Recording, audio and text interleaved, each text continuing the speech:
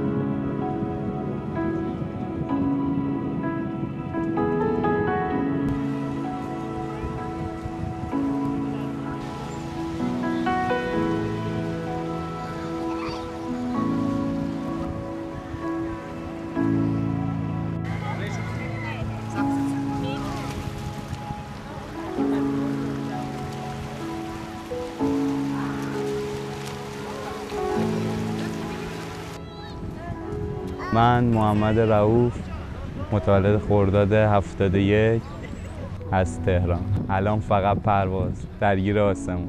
از سال 90 استارت کار ورزش های هوایی رو زدم. دیگه ولی پیگیرانه کمپلت این سالا رو تا همین الان هر روز پرواز کردم. یعنی سعی کردم خودم تو آسمون نگه دارم و تمرین های متداوم داشته باشم.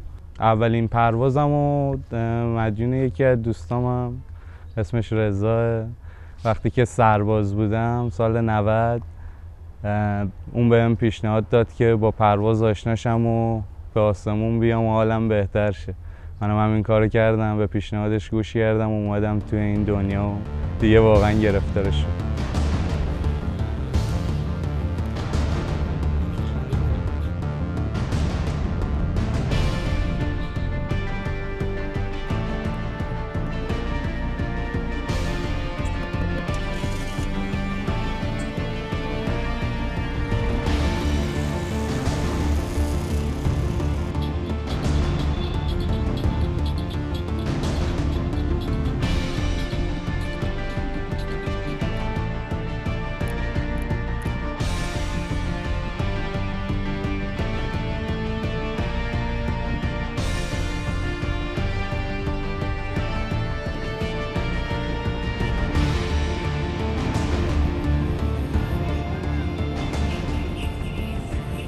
اولین رشته ای که باش پرواز و کلا دنیای ورزش های هوایی رو استارت زدم پاراگلایدر بود. من استارت تمرین های زمینیمو تو پاراگلایدر با آقای مؤسس توی سایت شهران آغاز کردم. ولی بعد از اون اولین پرواز تنهاییمو توی جویبار با آقای منصوری انجام دادم. واقعا احساس وصف نشدنی یعنی هر چیزی که بگم زبانم کم میاره. اون کلماتی که لایق اون پرواز و اون حس رو. یعنی هر کسی باید این حس رو تجربه کنه شخصا و به دستش بیاره. نه اینکه با گفتن من واقعا نمیشه توصیفش کرد. ولی چیزیه که تا همین الان منو پایبند این رشته نگه داشته و دنبال اون حس گشتن تونستم که به اینجا برسم.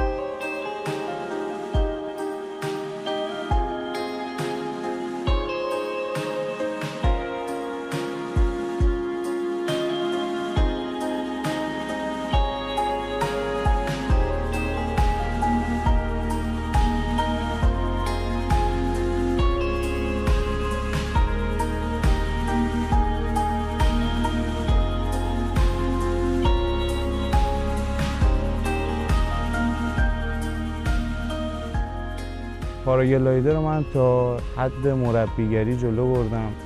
یعنی پنج سال من تو پاراگلایدر فعالیت هر روز روزانه داشتم. بعد از پنج و نیم سال تونستم مربیگری پاراگلایدر بگیرم. پنج و نیم سال فعالیت مداوم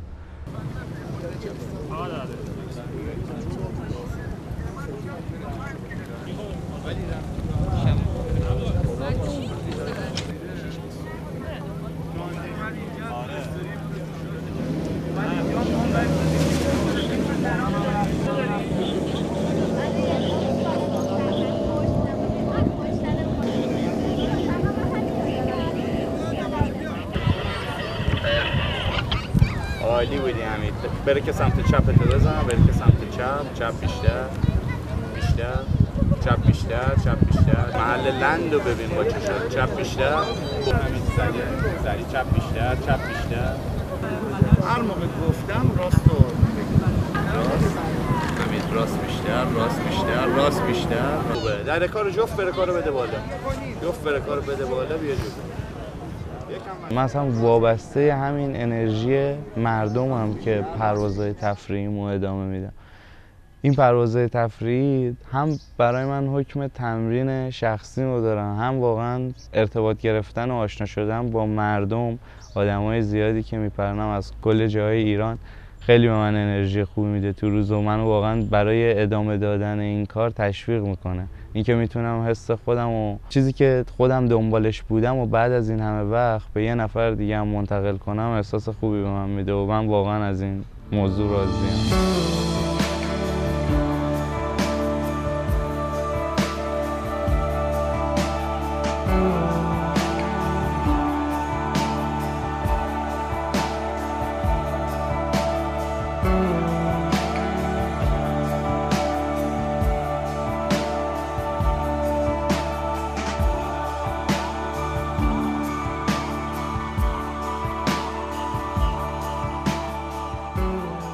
توی پرواز خیلی دوستای زیادی پیدا کردم و همینطور همواره دارم پیدا می‌کنم.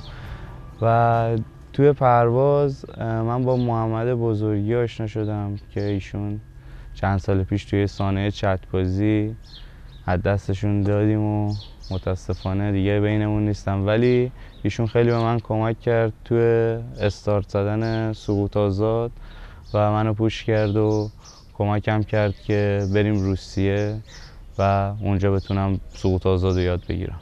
من تقریبا یک ماه و نیم تو روسیه بودم. اولش که با پلن دو هفته و فقط پاس کردن دوره اولیه سقوط آزاد روسیه رفتم. ولی بعد از اینکه دیدم خیلی خوب داره کارا پیش میره و قشنگ خودم رو توی اون رشته پیدا کرده بودم. کارامو بیشتر کردم هماهنگ کردم و تایم بیشتری رو بهش اختصاص دادم و تقریبا یک ماه و نیم روسیه بودم. تونستم A license بگیرم و برگردم ایران. تو روسیه من 45 تا jump انجام دادم.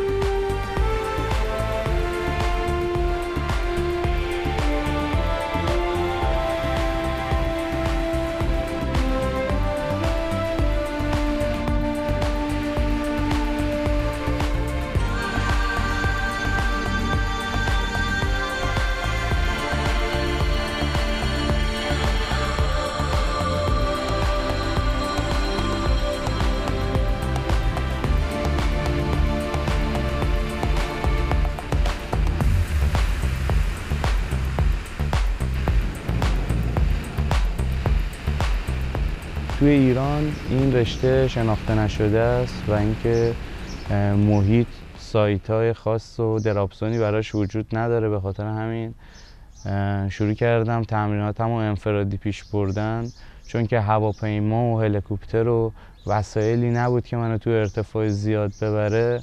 استارت بیس جامپ رو زدم. چون یه رشته کاملا مستقله. حالا شاید شاید که حتما خطرات خیلی بیشتری داره نسبت به سقوط آزاد. به خاطر اینکه شرایط پرش هم برام مهیا نبود تو ایران. من اون خطرها و ریسکشو به جونم خریدم و استارت تمرینامو توی رشته بیس جامپ شروع کردم.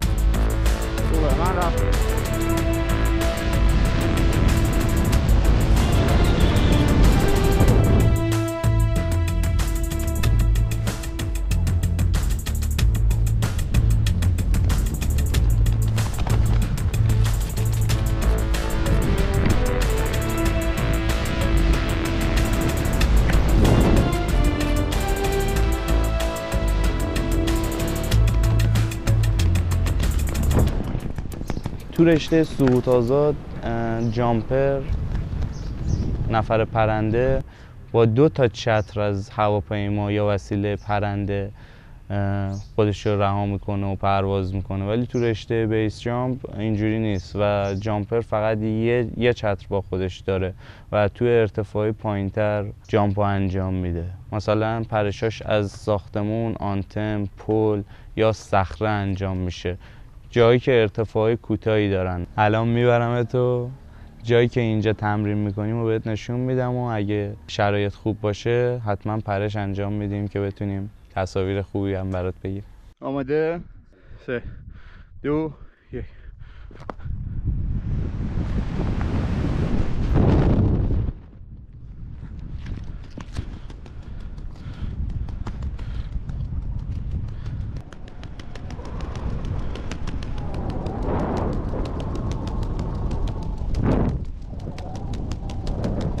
ماشاءالله آقا بذار پرش های زیادی توی جاهای مختلف ایران انجام دادم. اکثر پرش های تمرینیم از پاراگلایدر بوده پرش های بیس جامپ هم. چون که وسایل پرنده مثل هلیکوپتر و هواپیما توی ایونت ها و ایونت های دولتی بهمون می‌رسه و خیلی سخت شرایط جامپ برامون فراهم میشه.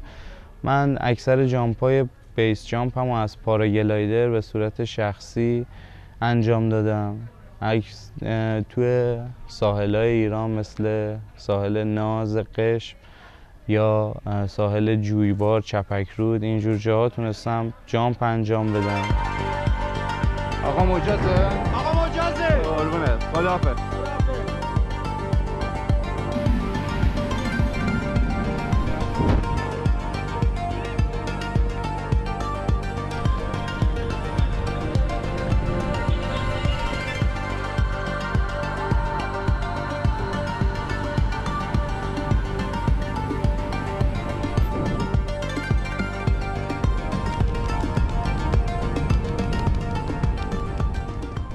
اکثرا طبیعت کردی انجام میدم و نقطه و مکان خاصی ندارم.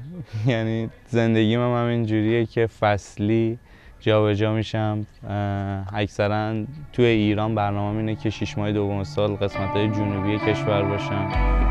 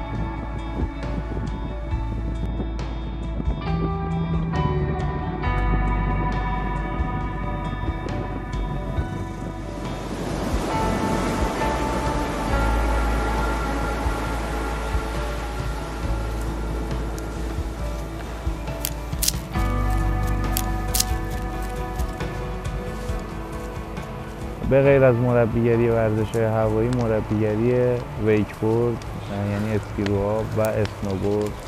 این این دوتا مربیگری دیگر هم دارم و خب کلا اینم این دوتا ورزش هم جزو ورزش های پر آدرنالین و مهیجند من دنبال این هیجان فقط توی ورزش هوایی نگشتم توی رشته های دیگه هم گشتم و تستشون کردم.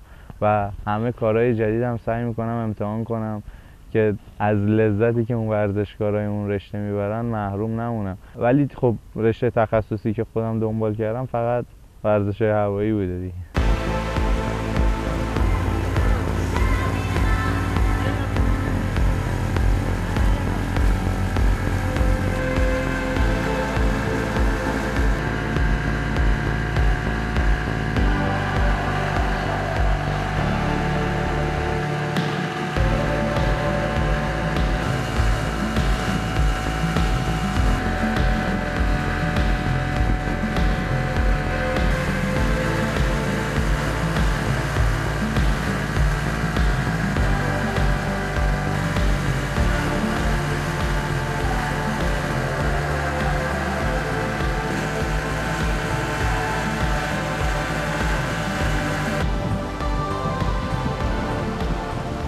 دره هایقر هم توی شیراز اطراف شیراز یه منطقه به اسم فیروزآباده و اینکه اونجا هم 240 متر ارتفاع داره.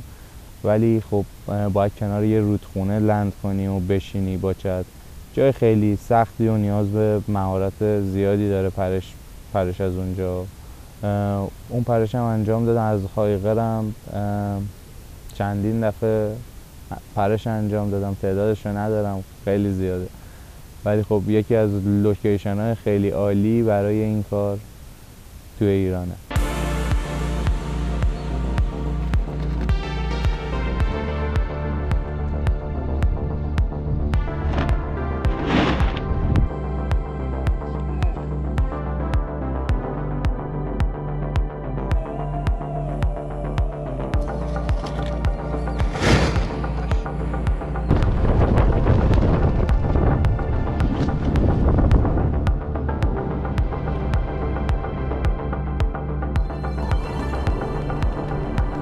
چیه؟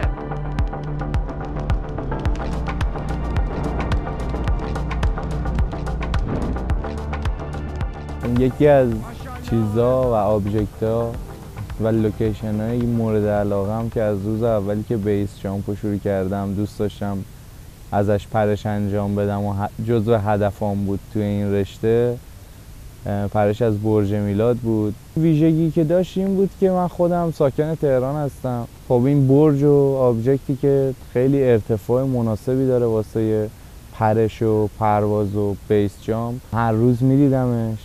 اینکه هر روز جذبش می‌شدم دیگه. هر دفعه که از توی اتوبانای تهران رد می‌شدم و این نماد تهران رو می‌دیدم همیشه دوست داشتم ازش پرش انجام بدم که موفق شدم. پلن بعدی که بعد از برج میلاد چیدم پرش از برج آزادیه که به احتمال زیاد توی 22 بهمن همین امسال انجامش میدم.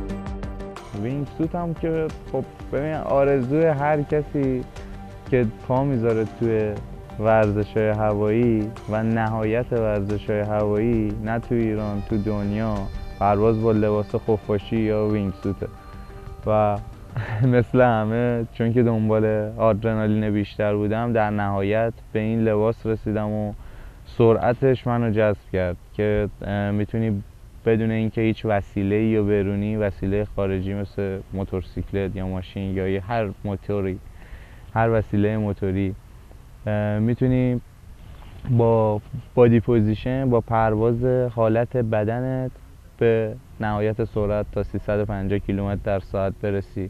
و خب این چیزی بوده که منو جذب کرده که این رشته رو پیگیری کنم.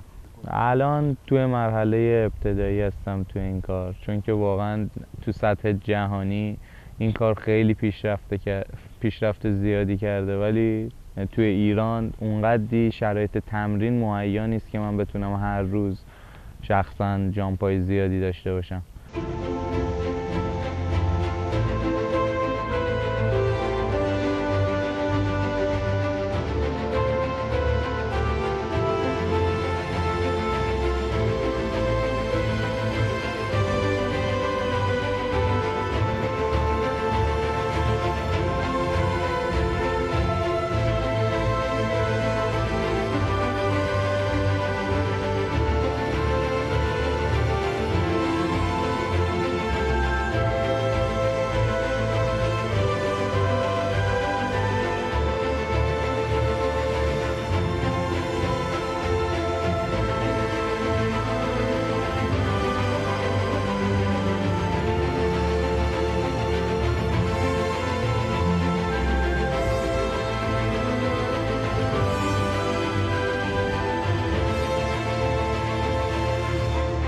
وقتی که بخوای شما یه کاری رو انجام بدی راهش هم پیدا می‌کنی. نظر من اینه و کلا تو زندگیم هم همین راه پیش رفتم. به هر چیزی که فکر می‌کنی انرژی این باعث میشه که تو زندگیت اتفاق بیفته و مسلما انسان این قدرت رو داره که به هر چیزی که می‌خواد و باور داره برسه. دقیقا هم این همینجوری تو من اتفاق افتاده که خواستم و پیدا کردم لوکیشنش رو پیدا کردم. واسه به اون نقطه رسیدن به اون لحظه رسیدنش برنامه ریزی کردم که تونستم انجامش بدم و یه دفعه ای نمیشه برید سر یه صخره رو بخوای خودتو بندازی پایین. لحظه ای که می‌خوای توش قرار بگیری باید سالها برنامه ریزی کنی.